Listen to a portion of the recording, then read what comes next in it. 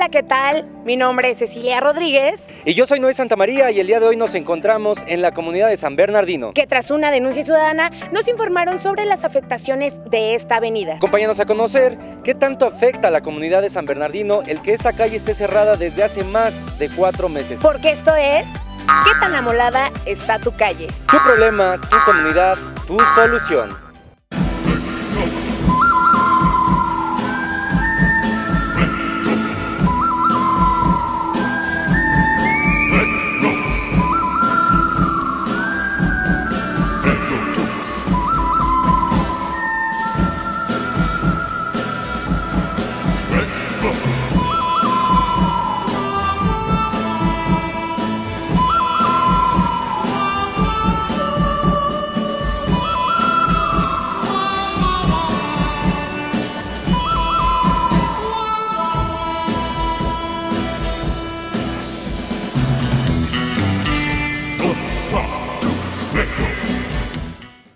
Ya tiene desde el año pasado. Desde el año pasado ya tiene y apenas le están metiendo mano. Eh, pues se bloquea el- el- para vender porque de repente cuando hicieron todo eh, la abertura pues no había paso en esta zona y sí bajan mucho las ventas del lugar. Eh, nos, sí nos ocasiona problema porque pues hay que pagar renta, hay que pagar otras cosas y de repente no sale los saldos para cubrir las necesidades que tenemos que pagar aquí. Supongo que es el polvo que se, es muy escandaloso y cuando digamos está pavimentada bien pues no hay este tipo de problemas, pero por ejemplo ahorita que está la tierra y así pues ese, bueno en mi caso siento que es lo que más afecta. Aquí estamos con un terregal desde cuando ya este nada más empezaron y no terminaron, nos dejaron a medias, tenemos que estar riegue, riegue, riegue agua. Aquí está goteando el agua, este, dejaron abiertos en unas partes las calles, mire, y no, no terminan. Este, les decimos a los delegados, pero dicen que, este, que pues no hay presupuesto y que no hay presupuesto para, para terminar los, las la obra de aquí de la calle. Y ahorita pues nada más vienen ahí medio parchando la, la calle porque dicen que no, no hay para más, para que la terminen bien. Podemos observar, como dice la señora, solamente están tapando los hoyitos. Y esto no es la solución, señores, hay que reencarpetar.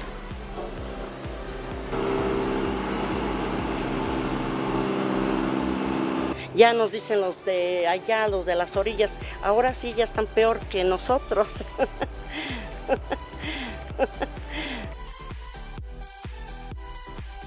lo van a hacer ahorita, este, nomás a, a bachar. Y en el mes de marzo ya tiene que estar terminada, así se va a hacer nueva. Pues que vinieron, abrieron la calle, está bien que se haya cambiado el drenaje, porque eso está bien. Pero miren, nada más están haciendo una, un bacheo, bueno, no están terminando bien la calle. Dos, si viene del presupuesto municipal, pues que se invierta como es, no que nos van a salir después con que 10 millones costó la obra y no se le invirtieron 10 millones. Esto no se vale y no creo que, creo que como ciudadanos no merecemos este tipo de engaños. Afecta el polvo, este, los baches, porque pues sí está inconcluso el trabajo y finalmente pues sí es algo que nos, nos afecta por ello. Aquí, por ejemplo, en el negocio siempre hay que estar limpiando porque siempre hay mucho polvo.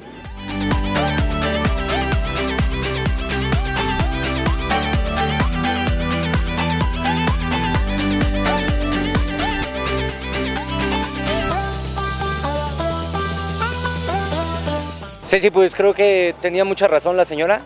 Creo que es bastante el polvo que se levanta con el aire. Dice la señora que no hay, que no son tiempos de viento y no sé qué, pero cómo no, ahorita ya, ya hasta me empanizó este polvito que, que saca el reencarpetado de esta calle. Señor, buenas tardes. ¿Cree que me pueda meter tantito aquí? No me iré. Nada más para hacer un reportaje rápido. No, me espante. Ay, sí. No, aquí de lejitos, gracias. Ay, sí, da. Los cocodrilos.